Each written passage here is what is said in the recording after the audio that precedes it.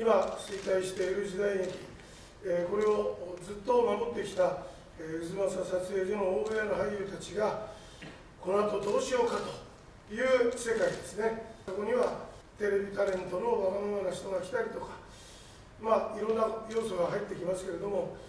まあ、この後渦政の俳優たちがどうやってこの時代劇を復活させていくのかあるいはできないのかまあ時代劇の生きる道はどこなんだというね、えー、そこでいろいろ苦労するお話ですからまあストーリー的にも非常に面白いし感動できるものになっていると思います。で私と小倉の2人のシーンだけ、えー、非常にいい流れの芝居の中で、えー、そのシーンだけ浮いてます。で、えー、栗原君が、まあ、今回主役ということですけども、まあ、彼はここ何作か主役をね、はい。やっておりまして本当に真面目に、えー、ストイックに役に取り込む役者さんですから取り組むね、えー、いろいろ頑張ってやってくれてますので、えー、これはクリア楽にやってもらおうということです。この岡山がですね去年入ってこの役っていうのはこの大抜擢ですよね。かつてないぐらいの大抜擢ということで今ここまで来て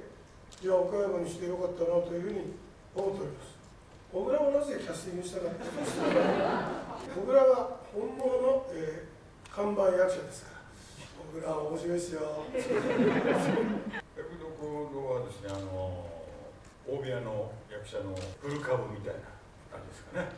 盾とかその時代劇を愛している。役者ですあの